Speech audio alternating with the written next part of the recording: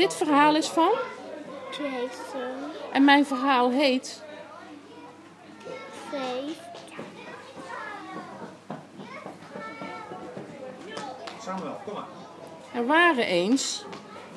twee olifanten.